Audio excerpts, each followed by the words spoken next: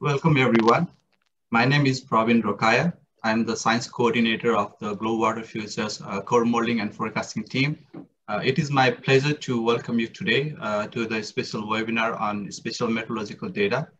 Uh, today we have Dr. Martyn Clark with us. Uh, Martyn is a professor of hydrology and associate director of the Center for Hydrology and the Canmore Cold Water Laboratory of the University of Saskatchewan. Uh, he is also the fellow of the American Geophysical Union and former editor-in-chief of the Journal Water Resources Research. Uh, Martyn is also one of the two principal co-investigators of the core modeling and forecasting team, and also the faculty lead of the geospatial intelligence team. Uh, I want to start this uh, webinar by thanking Martyn uh, for graciously accepting our request uh, to share some of his expertise in hydrometeorology. Uh, the webinar today would be about 45 minutes of presentation, followed by 15 minutes of question and answer session. Uh, Martyn, we are happy and grateful to have you here today. Uh, the floor is yours. Um, okay, great. Um, well, um, let's get started. Thanks, Praveen, um, for inviting me um, to give the, to give this webinar. And I think what we wanted to cover today was to talk a little bit about um, some of the meteorological data sets that are used throughout the core modeling program, what data sets are available, and what some of the limitations are with some of the data sets um, that, that, are there. Um, so I'll go through and I'm gonna, you can see the outline that we've got here. Um, so I'll start with providing a little bit of a motivation. And um, this slide um, is um, trying to encapsulate a lot of the work that we do in the core modeling um, program in Global Water Futures. So this is talking about the work that we do for hyd hydrological prediction applications. So typically what we do when we're interested in forecasting is that we run a model, a time-stepping uh, mechanistic model up to the start of the forecast to estimate the initial hydrological states, and um, then we then we run it into the future um, with an ensemble of weather forecasts or climate scenarios um, to provide um, some notion of change. So there's a lot that goes into this. If we start on the left um, for um, our initialization period or the historical period that we have, so we may have station data or reanalysis products that we're using as as as um, as, as the model input. Um, that uh, those products are typically not on the resolution of the model of our hydrology model that we need. So we need to do some type of spatial interpolation and data fusion in order to get the information that we need for our for our model elements. And that that step is providing us with the spatial meteorological forcing data that we need um, um, to produce our model simulations. Um, James, um, you're not on you're not on mute at the moment. Um, so then, um, as we're running our process-based hydrological model, and um, we're typically assimilating observations into that hydrological model, especially in the forecasting context, um, because our forecasts um, depend on the um, initial hydrological states at the start of the forecast. Or we get a lot of predictability from the knowledge of snow and soil moisture at the start of the forecast period. Um, and throughout history, um, we can have um, hydrological model simulations um, through a long period of history that we may be able to use for different purposes. Often in the multi-decadal work that we're doing for historical hydrological simulations, there's currently little little attention given to assimilation of hydrological observations, but you know that's something that will grow as we're pushing this forward. So now we've got the initial hydrological states and now we want to talk about streamflow forecasting or um, scenarios of change in the future. Um, for the um, short-term um, forecasts, um, when we're going out um, for like one week or even even a season, we get a lot of a lot of predictability from our knowledge of the initial hydrological states. so we've got our process-based model again, and we can have um, output from numerical weather prediction models, um, which are downscaled to provide um, the meteorological forecasts at the, for the spatial elements of our hydrological model that we can use as forcing data for our hydrological model. Um, those are used to um, produce hydrological forecasts. There may be some type of statistical post-processing and then prediction products that we would share with the community. Um, when we're going out um, for scenarios of change, the initial hydrological states become much less important.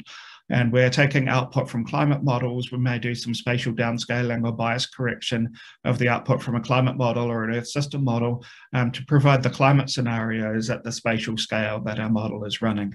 So we're running the model um, using those climate scenarios to provide hydrological projections um, and perhaps you know some statistical post-processing of those hydrological projections um, um, to provide um, the prediction products um, that are useful. So that's kind of a broad overview of how everything kind of comes together. Um, if we step back and think about our motivation, the gridded hydrometeorological data that we have are used to force land models, hydrology models, ecology models, um, to verify the numerical weather prediction model output. Um, but the um, generation of a data set, as well as we'll get into, has got many methodological choices and it's inherently uncertain. And um, very few of the hydrometeorological products that we use have got uncertainty characteristics. So we'll circle back on this at the, at the end of the talk and talk about how we can begin to explicitly characterize uncertainty in some of the products that we're developing. If we provide an example, um, if um, we look at a, um, a Gaussian mountain um, um, and um, we pretend that we've got three climate stations on this Gaussian mountain, and our goal is to estimate the temperature at the top of the mountain. So, whoops so we can have um, have different um, estimated lapse rates. So um, the lapse rates are different if we look at the differences between the different pairs of stations, and um, the answer that we get at the at the top of the mountain can you know have a fairly large uncertainty range. Um, some other methodological choices, you know, that are important when we're developing the data sets uh, the interpolation scheme, um, which data is included, what's the spatial resolution, what's the time step, um, what's the temporal interpolation method, if any, um, how do you predict precipitation occurrence, how do you account for lapse rates and complex topography. And these methodological choices may have a large impact on, on the work that we're doing. So if we step back, I want to provide a little bit of a review of the different flavors of meteorological data and climate scenarios that are available to us. Um, so um, we can start um, by um, thinking about the station data. So we may have raw station data. There's a step um, for quality control and imputing missing values um, to provide the serially complete station data. Um, we may have um, reanalysis data, and I'll, I'll, talk about what that is later. And we may interpolate that reanalysis data and fuse it um, with the station observations to provide spatial meteorological um, data that's suitable for input to our models. Um, and um, we may have global climate models um, that are used um, to provide boundary conditions for limited domain regional climate models, or you know some bias correction that's done um, to provide future climate scenarios. So we'll be circling around all of these elements as we're going through the subsequent slides. So the station data, um, there's measurement errors, of course, um, precipitation undercatch, which is a, is a huge issue in snowy environments, um, bridging of snow across um, precipitation gauges, etc. Um, problems with um, representativeness of the stations. You know, here's an example of the station by Fortress Mountain, and um, um it's a very heterogeneous environment, and um, the measurements at the station um, um, may not be representative of, of, of larger areas. So problems with non-homogeneous precipitation accumulation, where you get preferential precipitation accumulation in specific areas, often the sheltered areas. Um, blowing snow, um, which can be important um, if we're measuring snow water equivalent using snow pillows. there's a, a, a, a lot of spatial heterogeneity in, in the snow that we have and, and, and weird stuff. Um, you know, I've um, seen photos of trees growing through snow pillows and um, the impacts that that has on the measurements, or um, a herd of cattle who are standing on top of a snow pillow and um, and um, changing the measurements, you know, that we're getting from that. data quality issues, uh, instrument malfunctions, vandalism, etc. And um, this is all leading to gappy data, um, where at a given um, climate station, because of instrument malfunctions, the frequency of site visits, um, time periods of interest, you know, some stations and fire networks, etc., are only installed in the summer. Um, new station installations, so new networks coming in, um, networks being discontinued, etc., um, are providing um, data that's um, not temporally contiguous for a long period of time. So the efforts to to address that um, have been around for a long time. So John Eischeid and um, the NOAA and, and Boulder has worked on this, you know, um, right around the turn of the century. So he was looking at creating serially complete data sets of temperature and precipitation in the Western United States. Um, the figure that I've got here is showing the skill that you can get um, by um, estimating missing values um, from, um, from stations um, throughout the Western United States, showing, showing that there's uh, that there's lower skill in the in the summer months when precipitation is more spatially heterogeneous. Um, we have numerical weather prediction um, reanalyses. So I think most people are familiar with numerical weather prediction models. And of course, the numerical weather prediction models um, produce the weather forecasts. Um, it's an initial value problem. So the forecasts are initialized using what's called the analysis. So the analysis is the best estimate of the state of the atmosphere at the start of the forecast period. And um, the analysis is obtained using um, four-dimensional, um, um very often variational data assimilation methods, um, atmospheric data assimilation methods to provide the best analysis at the start of the forecast period. So what people recognized early on is that those analyses um, were really, really useful uh, because um, they could provide an estimate of the state of the atmosphere um, every day a forecast was initialized. And if you stitch together analyses um, from one forecast to the next, to the next, to the next, um, you could stitch together multi-years of analyses and provide really useful information for studies of climate variability and change. Um, but the problem with that was that the analyses were generated using different models. So every few months, um, the numerical weather prediction groups would upgrade their model, and that would create discontinuities in the analyses that were generated. Um, and older analyses um, were of lower quality. If you've got, um, if you're stitching together analyses over a multi-decadal period, or even over a time period of like five or 10 years, um, the models got better over that time period and um, and you've got lower quality analyses at the start of the time period. So what people did starting around um, 1995, etc., was um, to push forward the idea of reanalyses.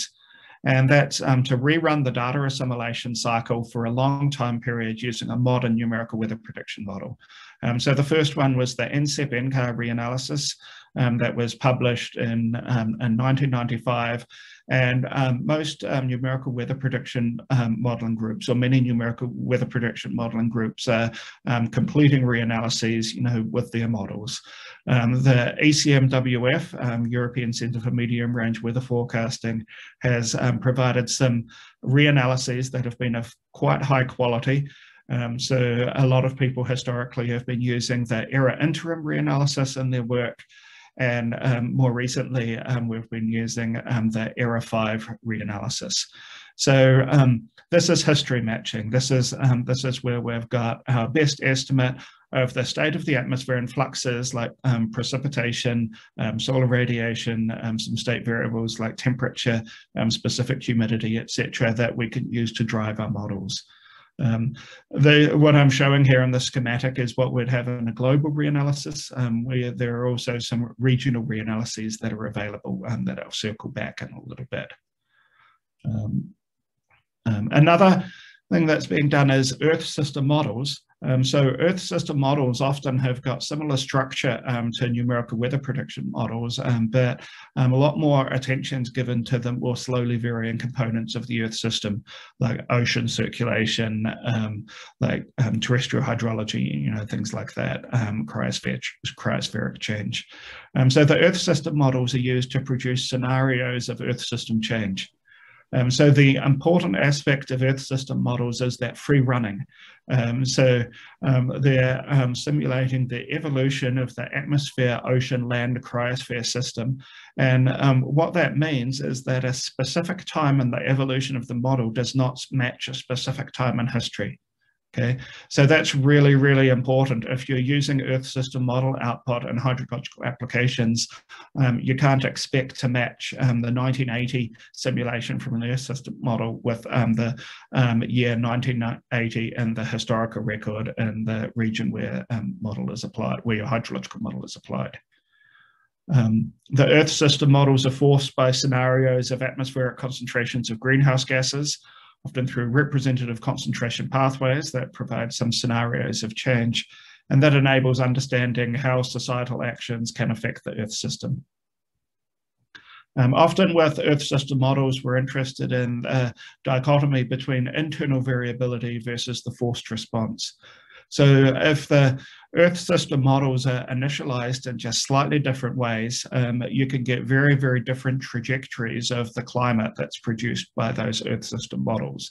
Um, so the, uh, the ensemble of Earth system model simulations with different initial conditions is, is viewed as um, the internal variability. And um, if you average um, multiple ensembles from a single model or multiple Earth system model simulations from multiple modeling groups, as we might have um, from an ensemble of opportunity, um, then that provides us with an opportunity to quantify the forced response. And an example of the forced response may be um, global um, mean temperature. So um, it enables us to ask the questions as to if uh, atmospheric um, concentrations of greenhouse gases have increased by a certain amount, what's the impact on um, the global mean temperature? And those are, those are the types of um, information that are being used um, in a lot of policy discussions around the world. Um, often, you know, the we don't have a lot of information on the forced response, um, specifically for variables like precipitation and information at um, smaller and smaller spatial scales. Um, but um, it, it is important to recognize the difference between the internal variability and the, and, and, and the forced response. So to summarize um, the differences between numerical weather productions, um, weather prediction models and Earth system models, the NWP models provide weather or increasingly environmental predictions, and the reanalyses are um, what we use um, for studies of historical hydrometeorological variability. Um, the Earth system models um, produce scenarios of change, and the history um, that we get from an Earth system model may not will will not match um, the history that we have in the historical record. So you can't take output from an Earth system model, use it as input um, to a hydrological model and um, expect to get um, good calibration results. The only thing that you'll really be able to get from that is um, um, simulations of the seasonal cycle. And if you haven't removed the seasonal cycle from your school metrics, um, then um, um, you may get um, artificial artificial skill, but really you shouldn't you should you shouldn't be getting any skill from the Earth system models because um, they they do not match history. Um, we also have um, regional climate models. I mentioned this before. Um, the regional climate models are often for a limited geographical domain. Um, they're forced at the boundaries by numer numerical weather prediction model um, reanalyses. So that's an example. So I'm going to talk about how that's been done um, for a lot of the um, CONUS simulations um, that Yan Ping and her group has been actively producing and using in their research um, they can be run at the boundaries um, also by an Earth system model. So I'll talk about that as well. And then um, limited um, domain um, regional climate models can also be forced at the domain by a coarser resolution regional model.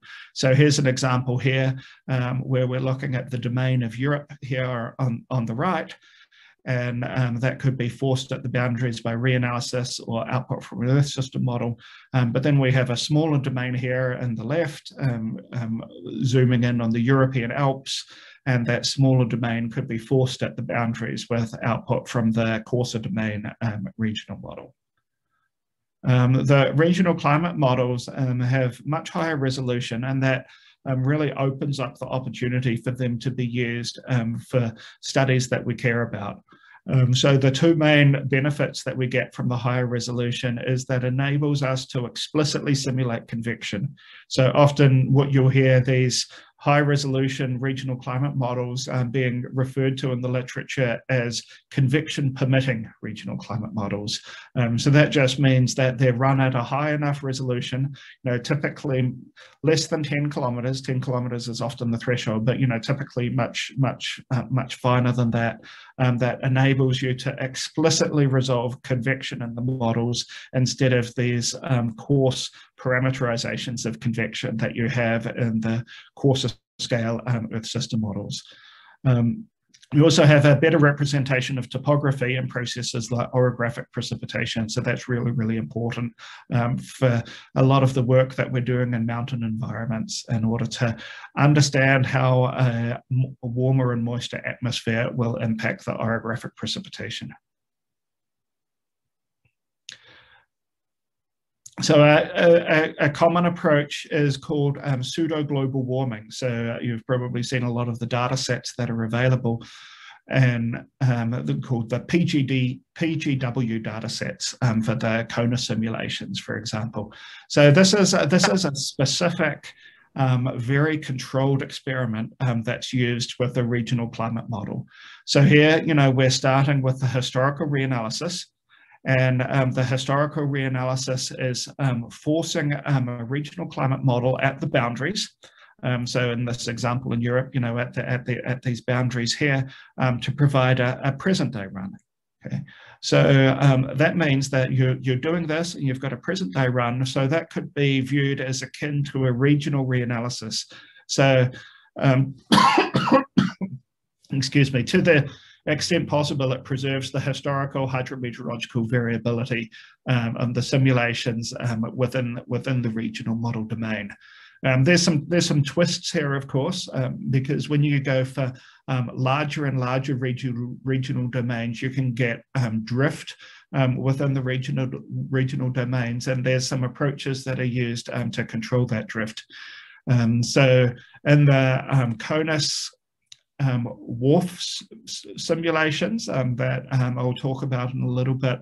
Um, they use this approach called spectral nudging, um, which is looking at um, the longer wavelengths within the model domain and then using that to, to adjust the simulations you know, within the model domain so that the simulations were closer to history.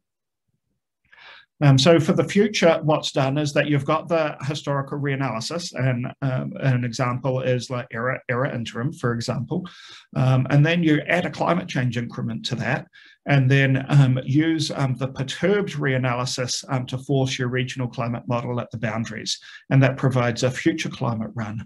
So when you're doing that, you're getting exactly the same weather um, um, well, not exactly the same weather, but you know the same weather patterns um, in the um, um present day run and in the future climate run. Um, so you're getting um, the same storms, and the storms are perturbed in the in the future climate run because we're running with a warmer and moister atmosphere. Um, so because of that, um, you're not getting any changes in the storm tracks, etc. You're not um, um getting um, any of the changes in atmospheric dynamics that we would um, be able to simulate in an Earth system model. but so you can view this as a really controlled experiment that's focusing on the thermodynamic aspects of change rather than the dynamical aspects of change. So if we um, go through and then um, begin to review um, what um, meteorological data sets um, we have available. So I mentioned, you know, station data to start with. Um, so we've got raw station data, um, which is subject to quality control um, efforts to impute missing values to create a serially complete data set. A um, couple of data sets, serially complete data sets that are available if you if you need serially complete data, if you want to go all the way back there. Um, Guoqiang Tang, um, who's who's working as a postdoc with me in my group, um, recently developed um, the serially complete station data set for North America. Um, so he's got um, serially complete time series um, for precipitation and temperature um, for about um, 27,000 stations odd um, across North America. the approaches that he went through there, which which could be um, extensible, you know, to other groups who who, who are working um, with trying to fill in gappy station data, um, quality control, um, different different checks um, for temperature, different checks for precipitation, etc. Um, a number of different infilling and reconstruction strategies, you know, to fill in data from major, uh, from neighbouring stations, correcting the climatological um, biases, um, comparing to benchmark data sets, etc. Um, so this paper is, uh, is already published and available in um, Earth System Sciences and Data if you, if you want to use these data. Um, but if the methodological steps um, that Guoqiang used to develop this data set are, are, are, of interest in your own work, if you've, if you've got a, a task to fill in the gaps in existing station data, then you know we're ha happy to share that information and, and help you with that. Um, um, Guoqiang extended this recently and um, developed a serially complete data set um, for stations around the world. Um, a, a, a, few um, methodological differences, but this is now for a much longer period, 1950 um, to 2019, and that's under review in the Journal of Climate. So we're hoping that the the work that's done here can support a lot of the ongoing activities that we have in the Planetary Water Prediction Initiative. Um, here's um, a graphic showing um, what we're doing, you know, for example, stations, precipitation, mean temperature, T-range, um, dew point temperature, um, and and wind speed and um, the the skill um, that we're that we're getting um, by interpolating data by filling in the missing data um, from um, from neighbouring stations. Here we're using a variant of the Kling-Gupta efficiency to quantify the skill. You know the the red values here uh, representing the higher skill. Um, the next set, as we're as we're um, stepping up, is um, looking at um, reanalysis data and uh, potentially um, combining that with the station data that we have to provide spatial meteorological data at a spatial scale that's useful for our impact models. Uh, there's a number of data sets that are available. a common one that's been quite popular in North America is Daymet. Um, so Daymet has got a simplified um, version of um, topographic regression. Um, it's a deterministic data set that's available from 1980 to 2019 at a one kilometre resolution um, across um, North America.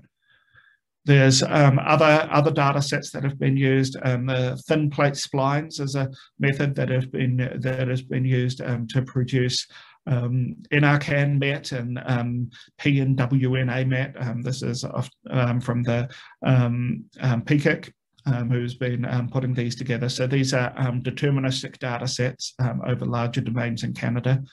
the Livneh data set and previously the Maurer data set is um, mostly for the contiguous United States, but it goes far enough into Canada um, that um, it includes a lot of the transboundary basins that are important to us. It goes far enough north into Canada so that it includes all of the Columbia, all of like the Milk, um, St. Mary, all of the Souris, etc. Um, so um, this is a data set that's based on climatologically aided interpolation. Um, so there you've got, you know, one interpolation that you have using climatological data, another interpolation that you have using the finer temporal resolution data. And you effectively interpolate the anomalies and then add the anomalies um, to the interpolated climatological fields. Um, some of our work um, was um, working in the contiguous United States and then um, Alaska and Hawaii using topographic regression um, to um, to estimate precipitation and temperature in an ensemble framework. So we've got ensembles of precipitation and temperature that we can use to characterize the uncertainty that we have in our hydrological model simulations. And a big thing in Canada, the biggest thing that we have in Canada is CaPA. This is um, the Canadian Precipitation Analysis. So this has been um, brainchild of Vincent Fortin that he's been pushing for, for many, many, many years. Um, what I'm showing here is an example of um, the CaPA application over the Canadian Rockies. This was um, from work by Vincent Vionnet and Dorothy Durnford um, and their work to provide um, um, CaPA simulations of the 2013 Canmore Calgary flood. Vincent Vionnet and his colleagues have just finished a CaPA reanalysis um, which is um, beginning to become available. It's not available just yet, but will be available very, very soon at a 10 kilometer resolution over North America. Um, so I think this is going to be um, become um, the go-to data set, the go-to data set on spatial meteorological fields that we can use for a lot of our applications, um, both for driving our hydrological models directly and also um, by using it as a basis um, for bias correction of output that we might have from um, atmospheric reanalyses or Earth system models. Um, the interesting thing is if we compare a lot of gridded products, um, this is from a paper by Brian Henn and Jessica Lundquist that I was involved in um, over California, um, what we're showing here is um, the spatial patterns of precipitation um, from six different data sets. And um, we're seeing that all of the data sets are providing different portrayals of um, precipitation um, with differences as much as 500 millimeters or greater than equal to 25% across the different data sets. And often, you know, if you just download, you know, one of these data sets, um, and um, pump it through your model, you may implicitly consider this as truth. It's clearly not truth. Um, and there's a lot of work that we need to do to really characterize the uncertainties in these data sets and understand how the uncertainties in spatial meteorological forcing data propagate through our hydrological systems. If we um, extend this even further, um, we're interested in um, global climate models. Um, so um, we can use output from global climate models directly if our uh, um, spatial scale of our analysis is um, sufficiently coarse to support that.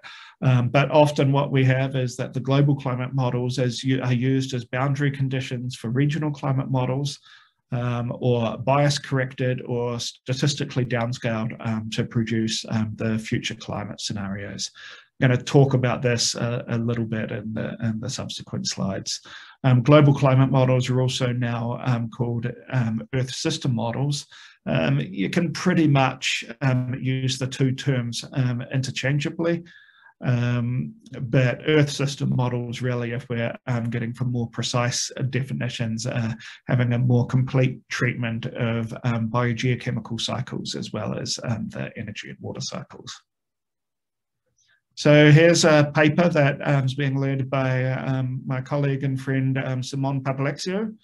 So Simon Papalexiou is interested in the portrayal of drought in the CMIP6 models.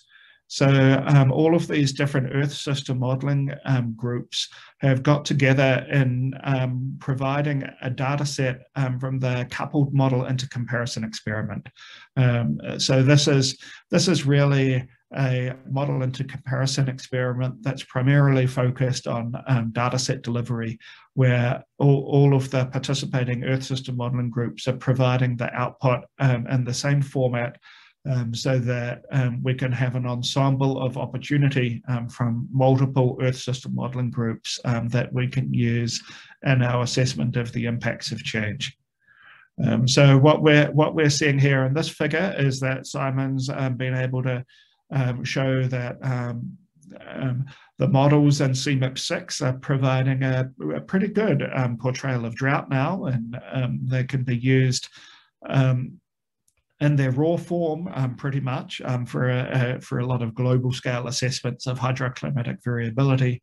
Um, Simon and his team are also working on downscaling the CMIP6 models um, in Canada so that we're uh, using statistical methods um, so that we can, we can use CMIP6 um, for a lot of our impact assessment work.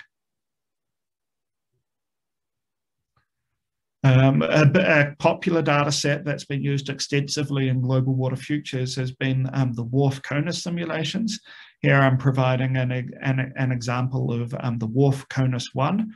Um, so this is um, what I talked about before, where we've got a historical reanalysis. In this case, it was the ERA interim um, that was used as input to the WRF regional climate model to provide the, the present day run.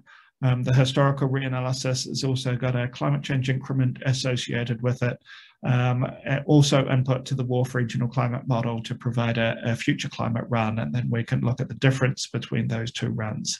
Um, as, as I mentioned before, um, this preserves the historical hydrometeorological variability and um, doesn't enable any analysis of changes in storm tracks, etc. So Yanping has also been doing some WRF simulations of her own um, over, over Canada um, that's been using a very, very similar approach to this. And so those um, data have been used in a lot of the studies as well. So here's a, here's a picture of um, observations and um, simulations of, of, precipitation in the eastern part of the US, um, showing that um, the the simulations uh, um, that we get from WRF are very, very similar um, from the observations. And my colleague, um, Andy Prein, who's done this work, when he presents this, he always uh, likes to remove the labels from the plot, um, remove um, what's observed and what's simulated and say, okay, you know, based on these spatial fields, um, what do you think are the observations? You know, it can be, unless you know what you're doing and looking very carefully over the ocean, um, it can it can be very very difficult to um, to distinguish between the two. Um, and this and this study here, um, what he was doing is um, um, treating storms as objects and looking at the propagation of storms in, in a Lagrangian sense. And this is feeding into feeding into his paper um, that we published in um, Nature Climate Change when we're um, taking a Lagrangian perspective instead of a Eulerian perspective. And we're able to look at um, not just changes in um, precipitation intensity that we'd have at a point, um, but we're able to look at changes in the rain volume, um, changes in the rain rate, changes in the rain area, um, the translation of storms, etc., and provide um, much deeper information of the um, changes in precipitation um, that we'd um, get in a, in, in a warmer climate. What we showed in this paper is that a lot of the changes in rain area and um, the propagation um, were really, really important in affecting um, the volume of precipitation that we could get from individual storms. Um, this is um, showing this in a little bit more detail um, where um, we're looking at the different aspects of storms, you know, the size of the storms on the x-axis, the precipitation volume on the y-axis, the um, maximum storm intensity, um, precipitation volume, and the speed of the storm and the precipitation volume, which is showing this in a little bit more detail. Um, and the overall annual changes in, in storms um, that we can see that the um, climatologies you know are, um, are quite similar um, but um, because we've got this controlled experiment it's allowing us to um, have fairly direct assessments of change. We used this in some work that we did with with Keith Musselman and um, looking at changes in rain on snow events um, across um, the um, western US and, and southern, southern Canada um, from these simulations. Um, so the output from these regional climate models were almost able to be directly used in a lot of our hydroclimatic assessments. underway at the moment is, is CONUS 2. so CONUS 2 actually isn't for the CONUS, it's for it's for North America, um, but it's but it's called CONUS 2. And um, this is taking a different approach um, to the PGW approach, um, where um, on the on the left side, where instead of using reanalysis, the model is being forced with a historical climate model run, um, which is bias corrected with ERA interim reanalysis, forced through a regional climate model to produce the present day run. Okay, um, so um, what that means is that that history that you get um, will not match um, the history and the historical record um, as as um, was um, present in the in the CONUS one simulations. Um, for the future, they were using a, a single future climate model run, um, adjusting the climatology to match the ensemble mean of the CMIP5 models, um, pumping that through a regional climate model and getting the future climate run. And, and taking, taking this approach, because the temporal variability is from a free running Earth system model, um, it doesn't match history, but it also allows you to um, look at interesting things um, like um, changes in storm tracks, etc. Um, I'm just looking at the time now. Um, I've covered most of the important work that I, that I really wanted to cover. I've got um, a, some slides on quantifying uncertainty, but um, I wonder if it'd be useful, Praveen, if I just pause here and um, see if there's any any discussion or, or questions based on what I've presented so far. Uh, I don't see any questions. I think uh, people may be waiting for the question and answer session to ask the questions. Okay so should I keep going or pause for a minute to see if anybody wants wants to add anything to the discussion now?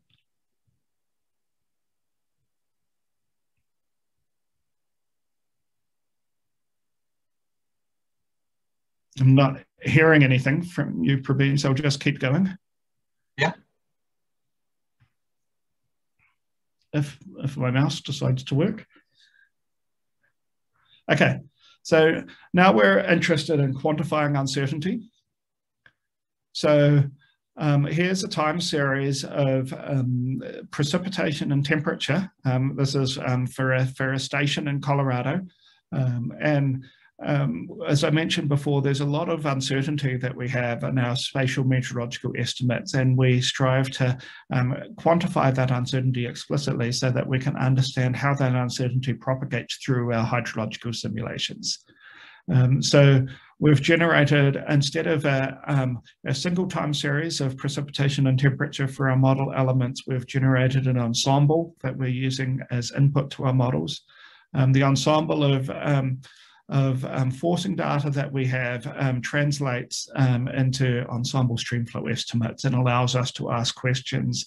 Um, what's the uncertainty that we have in streamflow simulations that's associated with the uncertainty that we have in our um, the spatial meteorological forcing data that's used as, as the model inputs. Um, when we're when we're getting into, into the mountains and you know other areas, um, we often see that the uncertainty that we have in precipitation is, is the dominant source of uncertainty that we have in many environments. It's important to um, quantify that uncertainty directly. Um, we we looked at this um, years ago, actually, um, in um, a paper that I did with with with Drew Slater um, back. Oh gosh, this was about 15 or 20 years ago, um, when we were um, uh, developing a method um, for probabilistic quantitative precipitation estimation in complex terrain. Um, so our approach was to use um, topographic regression to estimate the CDF of precipitation at each grid cell, and then um, use spatially correlated random numbers um, to sample from that CDF um, to provide a number of ensemble members that were equally plausible representations of reality. So what I'm showing here in the bottle is um, three ensemble members that provide what we um, can construct as equally plausible representations of the spatial precipitation field. So all of those ensemble members, uh, equally plausible representations of precipitation that occurred on the specific day, um, which is uh, portrayed on the left there. Um, we can see that you know the general features are there. We're getting more precipitation um, in the southwestern part of the domain um, than in the than in the eastern part of the domain, um, but there's large uncertainty that we have in our estimates of precipitation. This was um, extended um, by my colleague Andy Newman um, in his paper in Journal of Hydrometeorology in 2015. Um, so here, um, this is the same domain that was used by Ben Livneh in his deterministic data set. Um, so we applied these methods to provide an ensemble data set that's available for the contiguous United States and the southern part of Canada. Um, here's um, some examples here. So on the left is um, the simulations of precipitation from two example ensemble members, ensemble member 11 and 75, um, and the ensemble mean. So those two ensemble members are equally plausible representations of reality. The ensemble mean on the upper right, um, and the ensemble standard deviation in, in, in, in, the lower left. And the nice thing that we're getting out of this data set is that we've got space-time variations and the uncertainty. And what we're seeing here is that the uncertainty in precipitation was higher in the southern part of the domain, um, where we have more convective precipitation with um, lower correlation length scales. Um, the data set was constructed from 1980 to 2012, freely available daily spatial fields of precipitation and temperature, 100 ensemble members. Andy Wood has been um, picking up on this, making this data set available in real time, um, a lot of methodological extensions to this, and, and he's, he's using this as an ensemble component of his um, experimental streamflow forecasting systems. Um, when we compare to other data sets, this is compared to Maurer, which is similar to the, to the Livneh data set, um, we're seeing that we've got a better delineation between the mountains and the valleys. We're not getting the speckled effects um, that we get in deterministic data sets where we begin to see the impact of individual stations, etc. And that's important for energy balance models. If we do some probabilistic evaluation, um, looking at um, the reliability and discrimination, so reliability is the extent to which um, your observed frequencies are matching your estimated probabilities. Um, so we want to be on the one-to-one -one line. Um, the discrimination is where we're looking at um, the probability distribution um, for when an event occurred and when an event um, did not occur. Um, so we want um, um, separation um, between those two PDFs. So we can get, get, getting good reliability and you know some discrimination. And I'll show you some figures from some other studies that show similar probabilistic verification methods.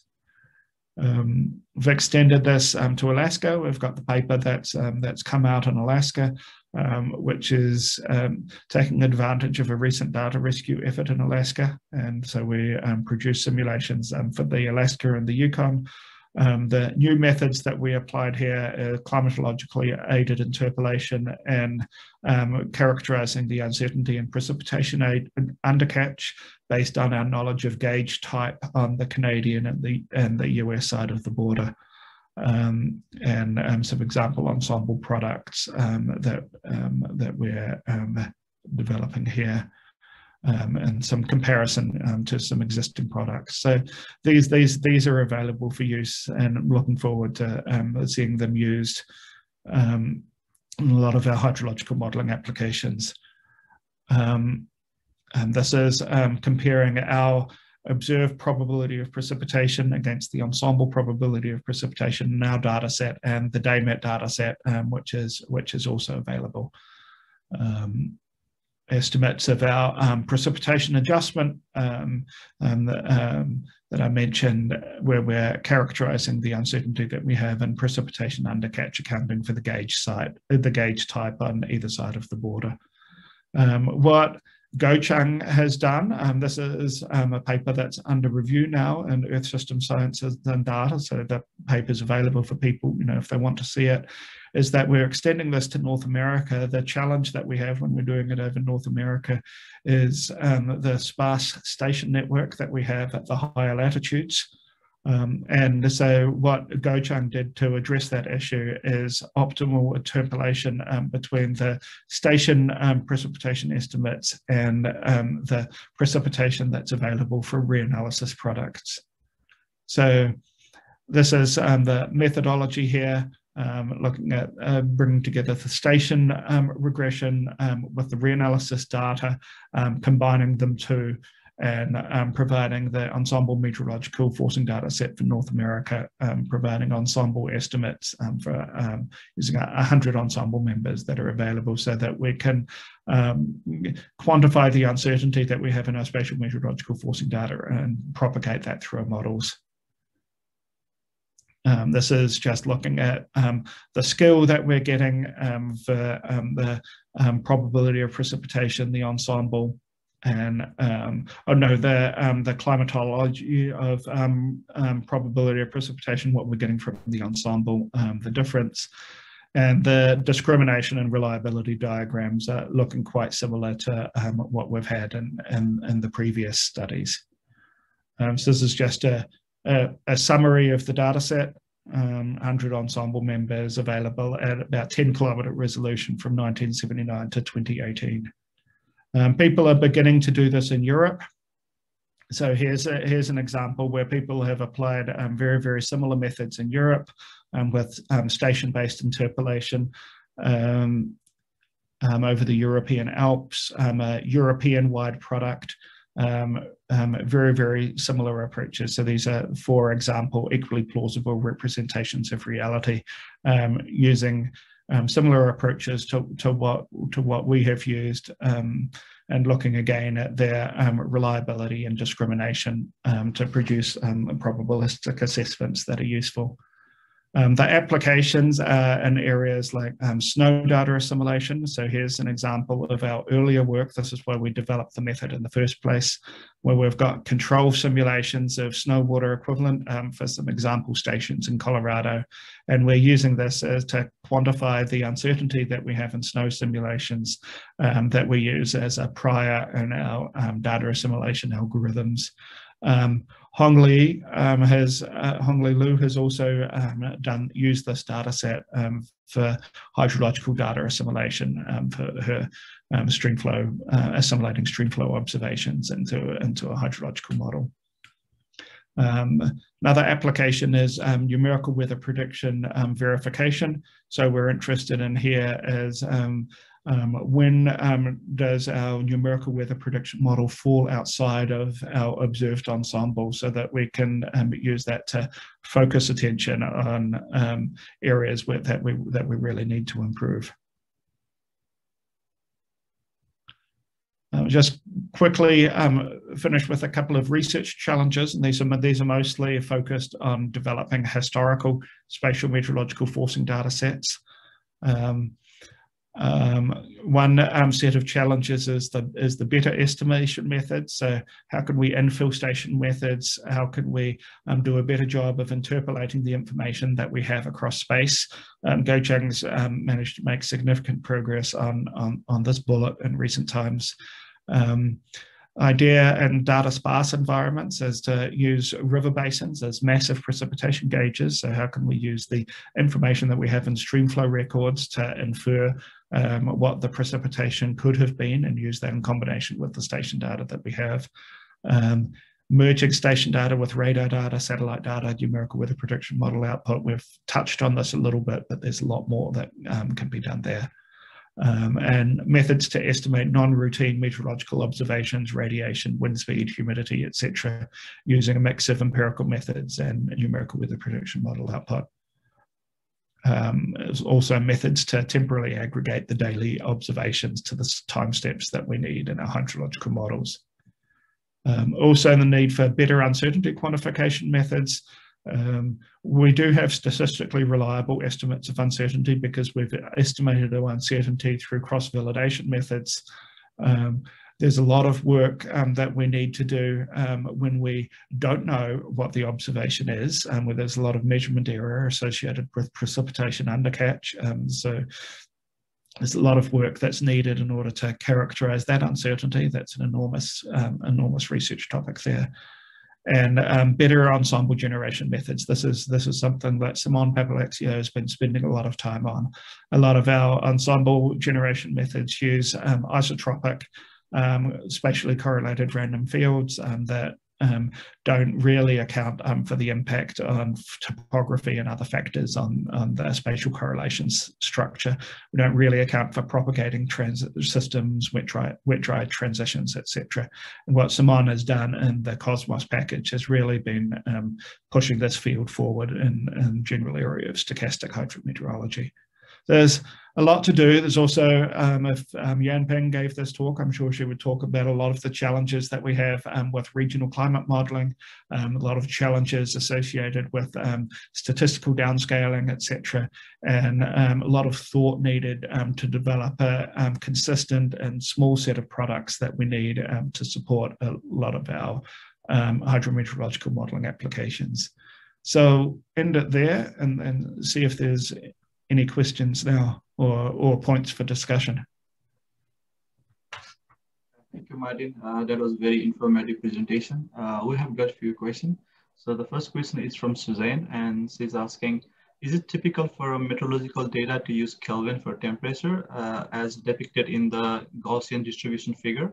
Uh, please clarify why this unit would be used instead of uh, Celsius or Fahrenheit. Oh, okay. Um, so generally, we try to use um, um, SI units, and Kelvin is the SI unit. Um, so that can be a little bit confusing, um, um, especially you know when we're interested in departures from the freezing point, as we as we'd have in Celsius. so a lot of the models are expecting the information in SI units and, and Kelvin because that's that's the unit and, and the hydrological models. Um, so that's what we do. Um, um, some data sets um, present the information in um, degrees Celsius. Um, it's it's it's very very rare to see a data set with the units in Fahrenheit because because that's not an an SI unit. Uh, the second question is from Andrew Arison, and so his question is, if you're doing process-based uh, hydrology work in Canada, then uh, simulating small to medium watershed, uh, should we stick with GM CaPA product then to drive our models? Should we uh, should we stick with the CaPA product? Yes, uh, to yeah. drive the hydrological model. Yeah, so we were talking. So Vincent Vionnet is um, the developer of the CaPA product, and um, that's that's going to be the benchmark um, that's that that we should use um, for all, all, of our applications. Um, we haven't um, done a um, rigorous and um, systematic methodological comparison um, across you know the um, different data sets um, that are available in Canada that really needs to be done in order to answer that question quantitatively. Um, but based on what I know goes into the CaPA product um, and um, with um, a lot of the uh, assimilation of you know different sources of information, I, th I, think you know that's definitely a, a very good place to start um, and like in, in the absence of the quantitative comparisons um, across alternative products. Um, if you if you if you're interested in uncertainty and precipitation and how the uncertainty in precipitation or uncertainty in spatial meteorological fields and how that uncertainty in spatial meteorological fields propagates through the system, then you won't be able to do that with CaPA um, because um, they don't have a um, long retrospective ensemble. Um, there is a group in Montreal who are um, developing an ensemble version of CaPA as well, and I think um, I think that will be useful. But they don't have a long ensemble hindcast. So, so if you're interested in the propagation of uncertainty, then um, you can use the um, data set that Guoqiang's produced. Um, but like, without any additional information right now, I'd say you know, CaPA is probably the go-to data set to use for statistical downscaling um, bias correction and um, um, as input for your hydrological models. Uh, next question is from Hebatala. Uh, so he says, you mentioned that all system models do not match historical data. So should we expect less skill to simulate the history uh, hydroclimate variables as precipitation, for example, when compared to the, some real observations? Yes, and so you and you need to do your evaluation in a very very deliberate way. Um, so um, if you're if you're running um, if you're forcing your model um, with earth system model output you should never compute a nash-sutcliffe score because that's absolutely meaningless. Um, the only thing as i mentioned the only thing that um, you'll be able to do is replicate the the seasonal cycle. So so you so you may get um, Nash-Sutcliffe scores above zero um, just because um, you're replicating the seasonal cycle, but um, you're not going to be able to predict departures from the seasonal cycle um, using approaches like that. Uh, we have another question from Al. Uh, so for your point station data bias correction, how does your work compare with the homogenized data produced by the operational product of, by ECC? Sorry, what was the question? Uh, for your point uh, station data bias correction, so I'm assuming it's related to Guoqiang work. Uh, how does your work compare with the homogenized data produced as an operational product by ECC? So the homogenized product is for a really, really small set of stations. Um, and um, they've um, taken a much more careful approach um, than what we were able to do with the, with with the larger set of stations.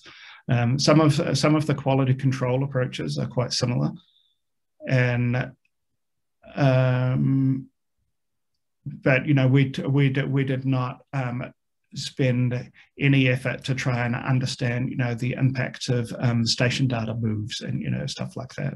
So Al, I can I can talk to you about that um, afterwards if you like. Uh, so we have another question from Chandra, and she's asking, what is the difference between uh, all system model and land system model? Uh, are there any benefits of using uh, land system uh, system model over our system model for hydrological applications? Um, so uh, um, Earth system model versus a versus a land model. Yes. Okay. Um, so um, the land models are the terrestrial component in an Earth system model. Um, so they're um, so they're really inseparable.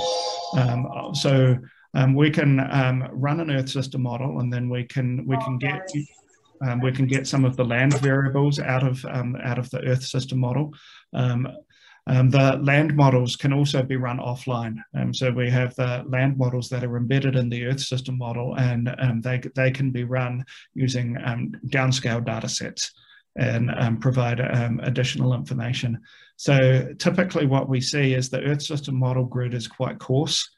so it may be um, 50 kilometers on a side or 100 kilometers on a side.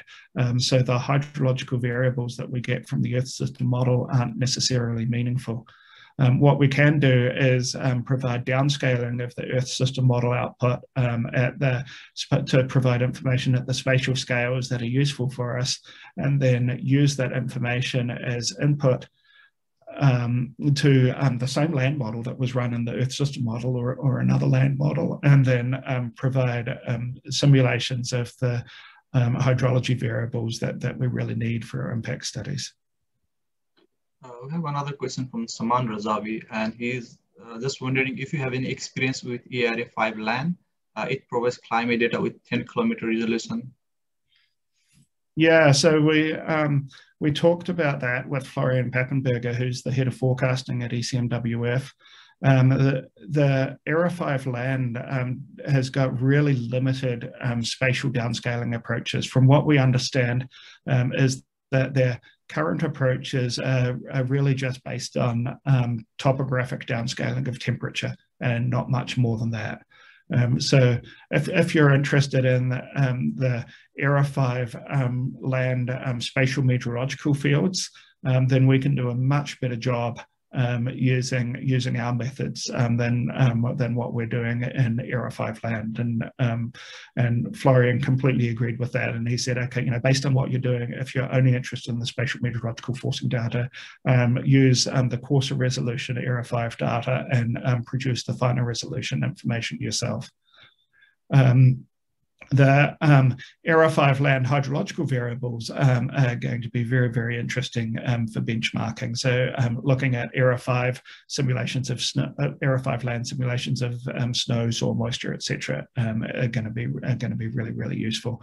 but if you're just interested in ERA5 land as, as forcing data, we can do better than that. Florian did say that there um, working on improving ERA5 land and that um, and that, that take-home message um, may not be true when they get their um, second version of ERA5 land complete. Uh, we are four minutes past the hour mark, but I have one question that I, I really wanted to ask. So um, so in one of your slides, you showed that there were six different forcing data and they had uh, differences of about 25% to each other. So that was even translated to like 500 millimeter uh, of the rainfall. So mm -hmm. I'm wondering like if, you know, uh, I want to do a, a hydrological simulations, then the one thing that you want to do is to use all of this data because you know they all are different and then you can capture the, the, the, the, the uncertainty, right? But then you cannot calibrate your model with all the data because it's computationally expensive. So what would be the most, you know, like appropriate and but not computationally expensive way to to address those issues in your in your modeling? Okay, so there's two things there. Um, the first is that you can sort of use multiple data sets um, to quantify the uncertainty, um, but um, that would be an approach that we would call an ensemble of opportunity, is that like six different groups created six different data sets and then we can use them all.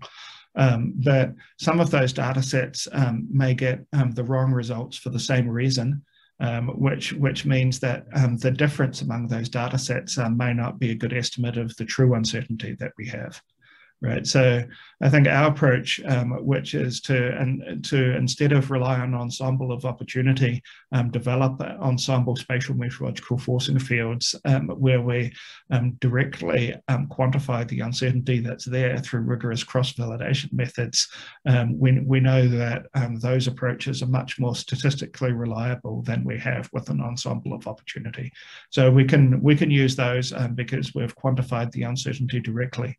And then what we've what we've been using is that we've just been using um, individual ensemble members um, from that ensemble data set um, for model calibration. And um, that's got some advantages because what we see with the deterministic data sets is that we have a a lot of problems with spatial smoothing.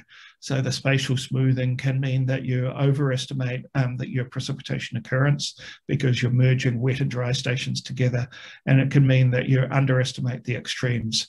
So when you're using an ensemble member um, from a um, um, uh, um, ensemble data set, um, we've got um, much better estimates of the precipitation occurrence and, and the extremes, much better estimates of the full probability distribution. And, and we found that to be quite useful in our model calibration efforts. Uh, that will be all for today. Uh, thank you again, Martyn. Uh, I also want to thank everyone who attended this webinar. Uh, the video recording of this webinar will be available later today in the Core Modeling website. Uh, just before we leave, any is there any last comment, uh, uh, Martyn, that you want to say? No, thanks everyone, and of course, reach out to me or Yanping or Praveen or um, Julie Thériault or any, any, anyone else with expertise in, in these areas um, if you want to um, talk about the data sets that you're using in your own work and you know what some of the limitations and advantages would be of alternative data sets. Uh, thanks, Martyn. Uh, thanks, everyone. Please have a good day.